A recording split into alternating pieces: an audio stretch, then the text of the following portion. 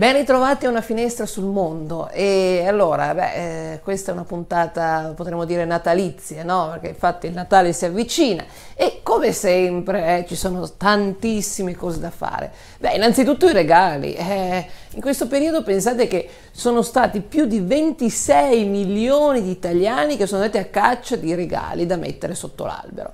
Uh, la, il budget più o meno medio ammonta a circa 238 euro a persona. Uh, poi il 40% degli italiani quest'anno ha intenzione di regalare libri e uh, capi d'abbigliamento, mentre il 36% prodotti di profumeria e il 28% regali gastronomici. Ma eh, poi, ok, i regali sono stati fatti, ma cosa bisogna fare? Bisogna pensare al cenone della vigilia e al pranzo del 25. Infatti, pensate che 9 italiani su 10 trascorreranno il Natale a casa con la propria famiglia. E mm, diciamo che tra i cibi da sempre più uh, apprezzati in occasione delle feste troviamo ovviamente al primo posto le lasagne seguono panettone e pandoro, al quarto posto poi abbiamo i tortellini e chiudono la classifica le lenticchie con il cotechino. Eh, sappiamo che è un piatto tipico soprattutto del cenone di Capodanno perché da sempre ritenuto no, portatore di ricchezze per l'anno nuovo. Uh, e quindi questi sono un po' i piatti e uh, poi saranno più di 14 milioni coloro che andranno in vacanza durante il periodo natalizio e la maggior parte resterà in Italia, andrà soprattutto in località montuose dove ci sono gli impianti sciistici. Ma adesso eh, parliamo un attimo, lasciamo un attimo da parte le tradizioni, parliamo mh, mm, di un qualcosa che ha fatto davvero molto discutere nelle ultime settimane.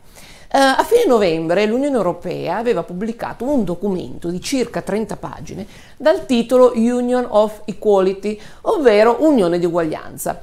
Si trattava di uno strumento eh, utile nel segno del rispetto della diversità, per esempio si consigliava di non utilizzare alcun riferimento di genere eh, quando si parla no, in pubblico, ma quello che ha fatto più parlare è sicuramente il capitolo dedicato alla comunicazione in prossimità delle festività natalizie.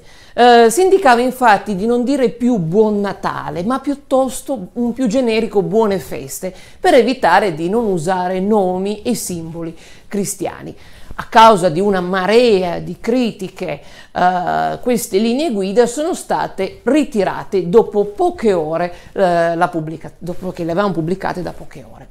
E, ma adesso veniamo a voi, cosa ne pensate? Eh, e poi avete, cosa vi aspettate dal nuovo anno?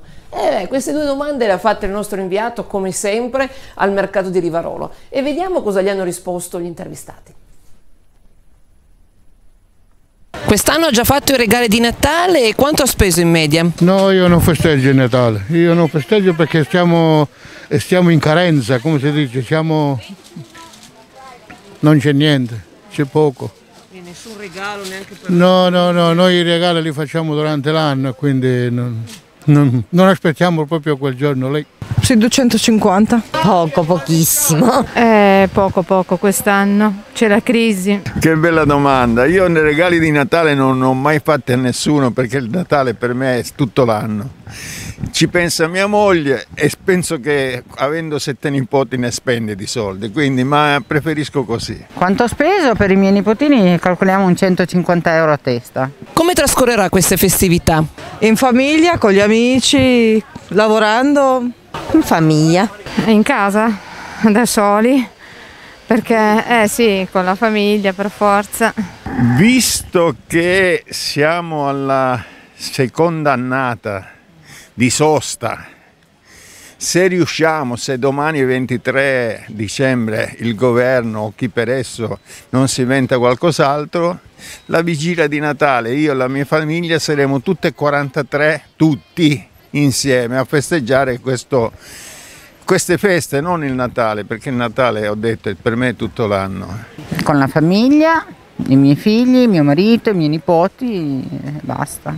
Beh, è normale come tutti gli altri giorni. Quali sono i piatti tipici che non possono mancare sulla tavola delle feste? Beh, il pesce soprattutto, gamberoni, quelle così. Secondo me le lasagne, vitello tornato e poi i classici nostri piatti piemontesi. Ma i piatti, noi siamo, lei siciliana, discendente, io calabrese, quindi sono tutti piatti tipici meridionali, quindi dai carciofi, da, da, da, dalla pasta piena, di tutto, il baccalà che non manca mai alla... quindi ci sarà da godere. Sulla mia tavola? Allora devo fare l'elenco ma è lungo, eh? Una focaccia ripiena, il baccalà, affettati misti con uh, vulvan, uh, vitello tonnato, passiamo dalla cucina meridionale a quella piemontese praticamente, ecco. E poi vedremo dei tortellini o degli agnolotti o qualsiasi cosa che uno vuole. La cucina è sempre aperta. Ma tutti, anche pasta e fagiole, guarda, io vado matto. eh, sì, sì. La carne sicuramente, non c'è festa senza un po' di maiale si dice da noi, poi qui il pesce ovviamente non deve mancare. Qualche settimana fa l'Unione Europea aveva indicato inopportuno dire buon Natale per non urtare la sensibilità di chi non è credente. Poi c'è stato il dietrofront. Lei che cosa ne, pre- ne pensa a riguardo? Eh, che secondo me il buon Natale è sempre buon Natale. No? Allora, su questo posso andare proprio di, di botto. Io buon Natale non l'ho mai augurato a nessuno per ovvie mie ragioni. Eh, ho sempre augurato buone feste, a Natale, a Pasqua, sempre. Ma che l'Europa ci venga a imporre a noi, a noi tradizionalisti cattolici e festeggiare il Natale, che vada a fanculo, scusate la parola. Io mi sento italiano da quando sono venuto dal meridione in Piemonte mi sento italiano, ma europeo non lo sarò mai, mai, perché farci trattare a pesci in faccia da certi che noi abbiamo sempre dominato, ma veramente ripeto la parola di prima. Uh, chi non è credente, io quando andavo a scuola praticamente c'era una, una bambina che veniva con me che non era credente, lei non, non faceva il segno del, della croce non diceva le preghiere, ma la cosa finiva lì. Adesso vogliono togliere i presepi, i crocifissi, no. Cerchiamo di, di, tenere le tradizioni, visto che già vanno scemando, cerchiamo almeno di tenerle. Prepariamo l'albero di Natale, diciamo le nostre preghiere anche nelle scuole che mancano, come manca anche l'educazione nelle scuole. Cerchiamo di mantenere le tradizioni e basta, perché e poi chi vuole stare nel nostro paese si adegua altrimenti fanno dietro fronte, eh, io sono così. Io non lo dico a nessuno, se qualcuno me lo dice lo ringrazio e buono. Che tanto un Natale è sempre peggio di un altro, non è che c'è un Natale che viene meglio. Penso che se sei a Roma ti devi comportare come i romani. Se in altri posti noi ci dobbiamo coprire il capo, mi sembra ovvio che noi cristiani possiamo dire buon Natale a casa nostra. Io penso che sempre dire buon Natale fa piacere, quello sì, sempre. Molte cose sono tradizionali da piccoli, perciò... Che cosa si aspetta dal 2022?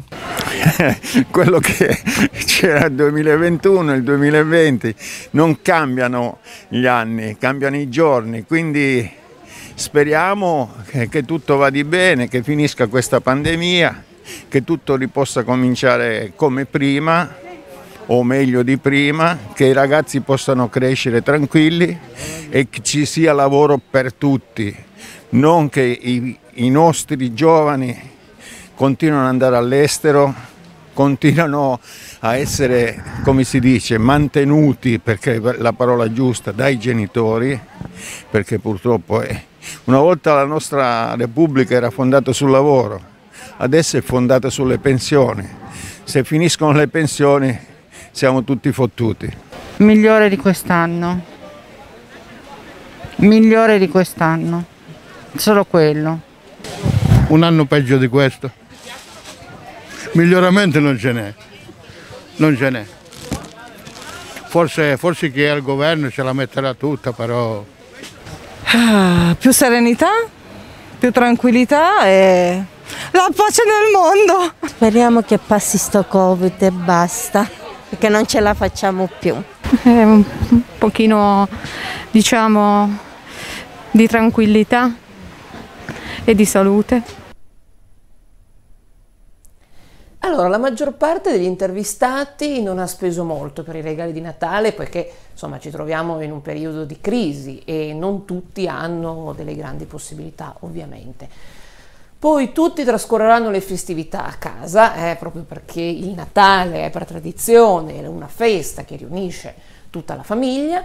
I piatti più gettonati sono sicuramente il baccalà e eh, le lasagne e eh, poi il fatto di togliere no, dal nostro uso comune l'espressione Buon Natale non convince tutti, anzi eh, la maggior parte insomma, sostiene che eh, si debbano mantenere certe tradizioni. E poi eh, infine tutti ovviamente sperano che l'anno nuovo eh, sia migliore rispetto al 2021 per ovvi motivi. Bene, allora, oggi è un giorno un po' speciale ecco, per tutti noi e per questo programma. Pensate che questa è la puntata numero 20, quindi davvero, davvero grazie. Grazie a tutti voi che ci avete seguito fin qui. Ovviamente noi non ci fermiamo, ma eh, questa sarà solo una breve pausa, anche noi ci andiamo a riposare un po' per il Natale. Grazie ovviamente a tutte le persone che mi hanno dato la possibilità di essere qui, di fare questo programma e davvero mai più avrei pensato che da giugno eh, fosse, pote, potesse partire questa bellissima avventura. Quindi davvero grazie. E poi ovviamente è una puntata natalizia, quindi buone feste, buon Natale a voi, a tutte le vostre famiglie e un buon anno, che il 2022 davvero porti eh, un po' di serenità, che ne abbiamo davvero tutti bisogno. Grazie per averci seguito e a presto. Ciao!